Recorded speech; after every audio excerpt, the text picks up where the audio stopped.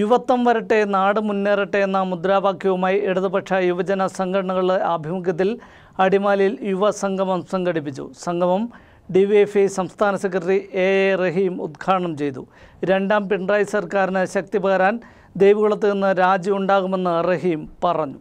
മണ്ഡലത്തിലെ ജനങ്ങൾക്ക് രാജയെ അറിയാമെന്നും രണ്ടാം പിണറായി സർക്കാരിന് ശക്തി പകരാൻ ദേവികുളത്ത് നിന്ന് രാജ ഉണ്ടാകുമെന്നും ഡിവൈഎഫ്ഐ സംസ്ഥാന സെക്രട്ടറി എ എ റഹീം പറഞ്ഞു. അടിമാലിയിൽ ഇടതുപക്ഷ യുവജന സംഘടനകൾ സംഘടിപ്പിച്ച യുവസംഗമം ഉദ്ഘാടനം ചെയ്ത് സംസാരിക്കുകയായിരുന്നു അദ്ദേഹം.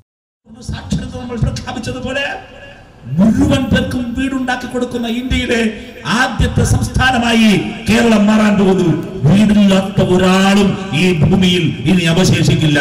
ഈ കേരളക്കരയിൽ ഈ ഉറപ്പാണ് ഇടതുപക്ഷ ജനാധിപത്യ മുന്നണി അഡ്വക്കേറ്റ് ഈ രാജയ ചെറുപ്പക്കാരനിലൂടെ ഈ ദേവികുളത്തിന് നൽകുന്ന ഉറപ്പ്. ഒരാളും ഉണ്ടാവില്ല. അപ്പോഴാണ് എം എം ഹസൻ പറയുന്നത് ഞങ്ങൾ അധികാരത്തിൽ വന്നാൽ ആദ്യത്തെ ക്യാബിനറ്റിൽ ഈ ലൈഫ് ഭവന നിർമ്മാണ പദ്ധതി ഇല്ലാതാക്കും. എഫ് ജില്ലാ പ്രസിഡന്റ് കണ്ണൻ അധ്യക്ഷനായിരുന്നു. ദേവികുളം മണ്ഡലം എൽ ഡി എഫ് സ്ഥാനാർത്ഥി എ രാജ യുവാക്കളോട് വോട്ട് അഭ്യർത്ഥിച്ചു. എ വൈ എഫ് സംസ്ഥാന വൈസ് പ്രസിഡന്റ് പ്രിൻസ് മാത്യു മുഖ്യപ്രഭാഷണം നടത്തി. പി പി സുമേഷ് ജോമോൻ ജോയി ജസ്റ്റിൻ കുളങ്ങര തുടങ്ങിയവർ സംസാരിച്ചു. അമ്പലപ്പടിയിൽ നിന്ന് അടിമാലി ടൗണിലേക്ക് നടന്ന യൂത്ത് മാർച്ചിൽ നിരവധി പ്രവർത്തകരാണ് പങ്കെടുത്തത്.